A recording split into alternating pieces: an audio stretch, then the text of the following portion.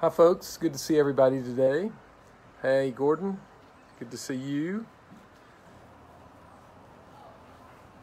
I'm here with Carney the Lagotto dog. She's with me today doing noonday prayer. You are, aren't you? Yeah, you're doing noonday prayer. And we are in Monteagle, Tennessee, where I was able to come this weekend to our family cottage to spend Father's Day with my three daughters and the rest of my family, and that was great. Hey, Barbara, nice to see you. Good to see everybody. We're going to start noonday prayer here. If you're um, if you're in the Book of Common Prayer, we're on page 103, and uh, I think it's 103. I don't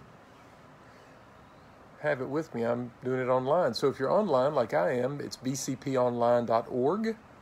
Hey, Amanda and um, you can uh, then touch um, daily, the daily office and then an order of service for noonday.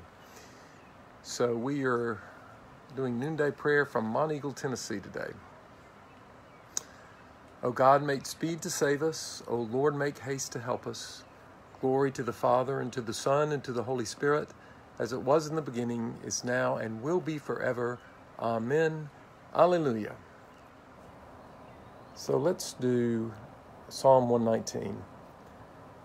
Your word is a lantern to my feet and a light upon my path. I have sworn and am determined to keep your righteous judgments. I am deeply troubled. Preserve my life, O Lord, according to your word. Accept, O Lord, the willing tribute of my lips, and teach me your judgments. My life is always in my hand, yet I do not forget your law. The wicked have set a trap for me but I have not strayed from your commandments. Your decrees are my inheritance forever. Truly, they are the joy of my heart.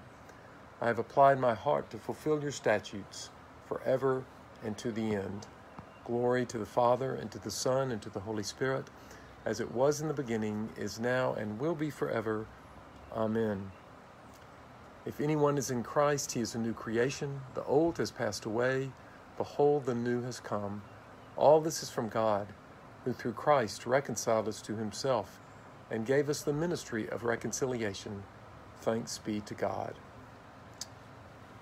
Our reading this morning is from Matthew chapter 19.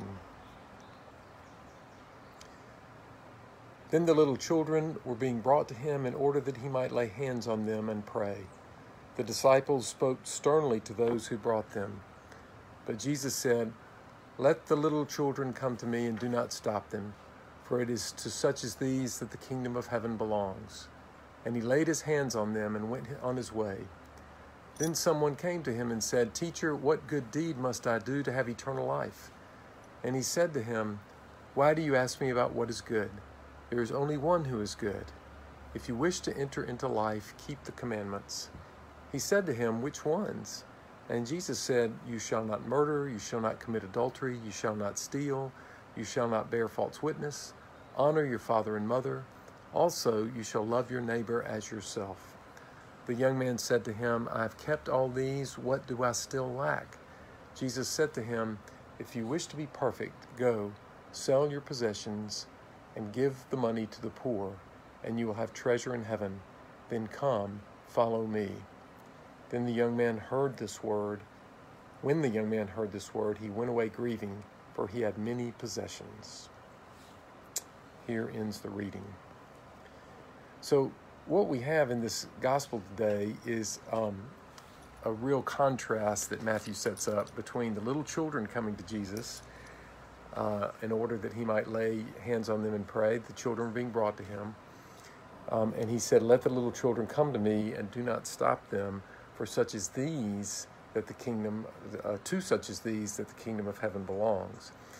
And the very next thing that Matthew gives us is this story about the rich young ruler, um, who was someone who kept the commandments and tried really hard to be faithful.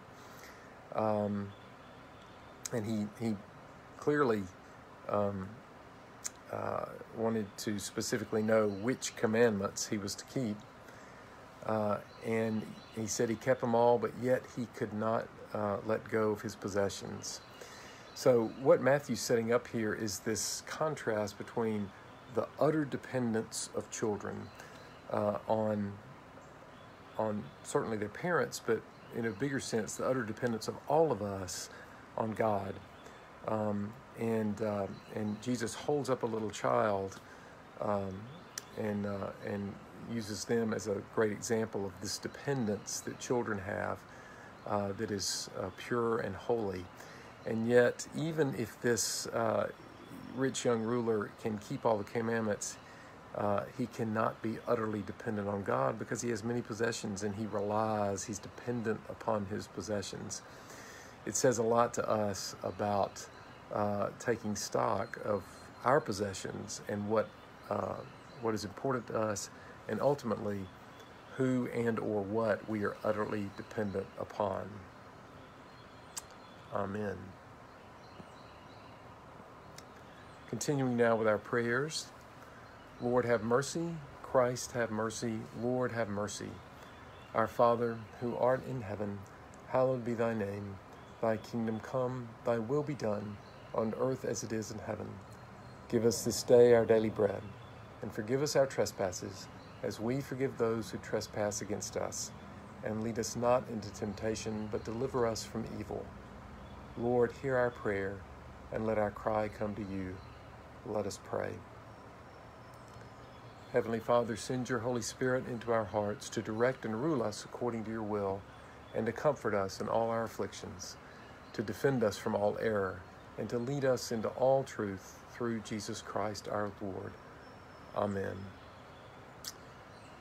So, in our prayers this week, we pray especially for Joel Baxley, Avery Browning, Jerry Buck, Amy Campanetti, Jamie Drummer, Thomas Frazier, Ann Hanson, Beverly Hogan, Jimmy Hunter, Alex Hutchins, Gordon and Kay Irwin, Jenkins family, Keith Kelly, Ellen Lovett, Sam McNutt, Anita Medlock, Jan Neese, Sue Pyers, Demi Perez, George Pipes, Kathy Shootman, Martha Williamson, and Bill Wood.